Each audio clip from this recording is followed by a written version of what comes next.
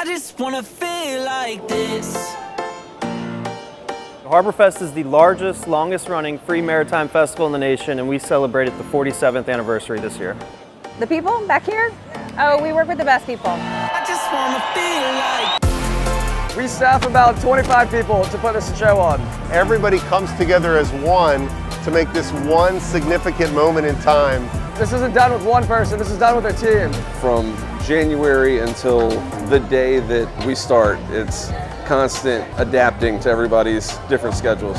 You know, we start planning Harborfest the day after it ends.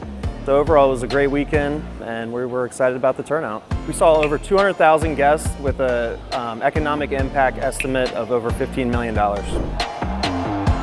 When you walk in, you automatically feel safe, and that is one of our primary goals. I just wanna feel like this. It's all about the crowds, it's all about crowd participation. The bands do what they do, and we come in and we help them become superstars. Well, we come in on Thursday, set up uh, the main stage and the second stage, and get everything mostly set, and then the bands will show up and we'll start sound checking.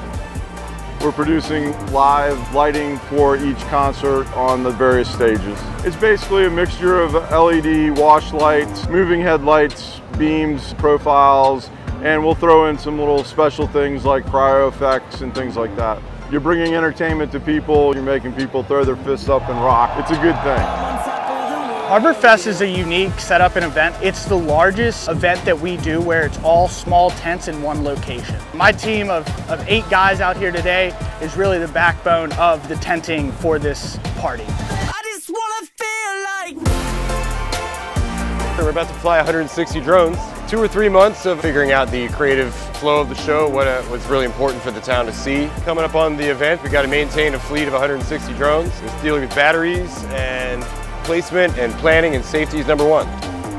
On race day, we'll be moving about 30 boats in and out of the water. It's all about volunteers, and it just takes a lot of helping hands to pull this off each year. You're planning parties for a living. There's live music around you, there's people laughing. It, it doesn't get much better. nothing's gonna break my Why do we love Harborfest so much? Because we get to work together. You gotta be here, you can't miss it. Come back and see us June 2024. It'll be the 48th annual Norfolk Harborfest.